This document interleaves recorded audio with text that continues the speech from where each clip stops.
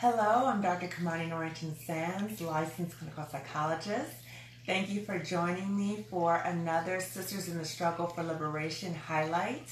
Today we will be highlighting Shirley Chisholm. So, as I've been mentioning, I am doing a Sisters in the Struggle for Liberation challenge for myself. So, each day I will be profiling a different black woman. So, today will be Shirley Chisholm.